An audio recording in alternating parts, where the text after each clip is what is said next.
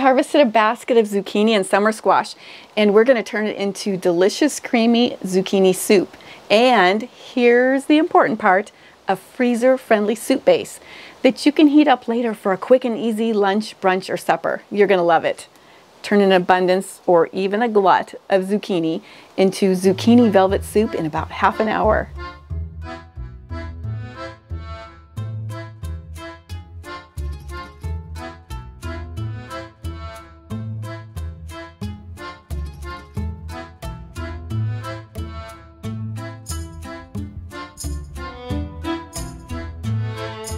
Hi, I'm Michelle, and I'm here to help you create your slice of country living wherever you live. Welcome to Chocolate Box Cottage, the sweet spot between old-fashioned skills and modern convenience.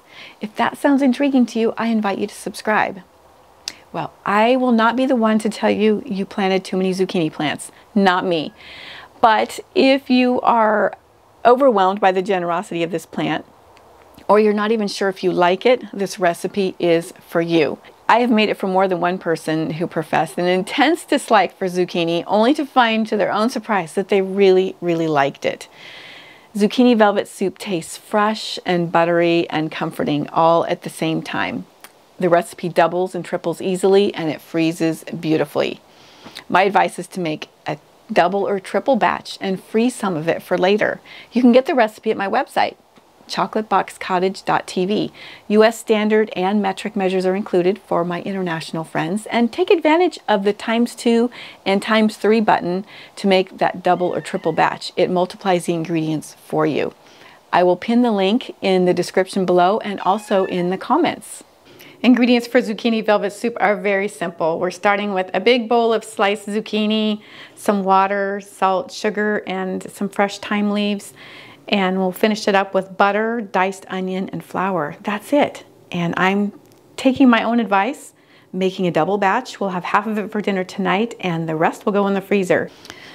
I chose a good sized zucchini in the mix here and you'll notice that it does have seeds inside, but they're still tender. If the zucchini you're using has fibrous seeds, you'll want to scoop them out.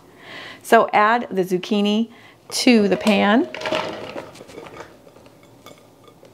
Next, add the water, the sugar, the salt, and the fresh thyme leaves. Bring it to a boil, put a lid on the pot, and let it cook for about 15 minutes until the zucchini is very tender. While the zucchini cooks, make a roux or white sauce with the remaining ingredients. In a large saucepan over medium heat, melt the butter.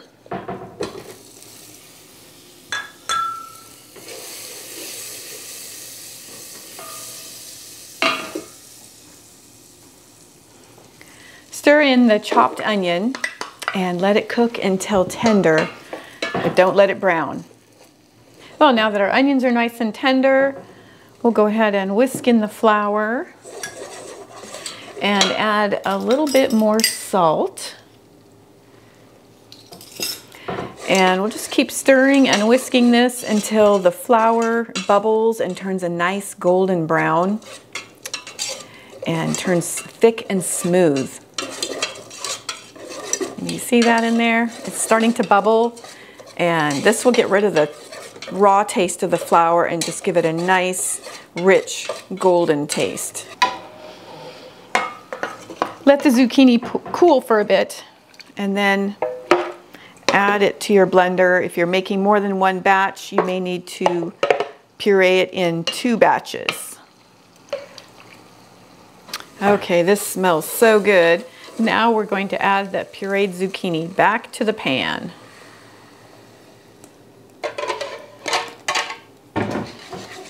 And whisk it in till it's all nice and smooth. And what you've done here is you have created a soup base. Just look at that thick, creamy, beautiful soup base. So I'm going to ladle some of this soup base into a freezer container. You can see my fancy label here zucchini velvet soup and the date. Thaw completely, heat and add two cups of milk. This is a four cup container, so when I heat it, I will add two cups of milk and there will be a nice generous dinner. And I'll whisk in the milk for what we're gonna have tonight.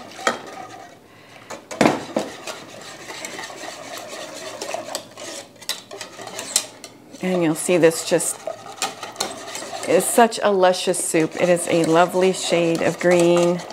So appetizing. It smells wonderful. It has this wonderful buttery taste.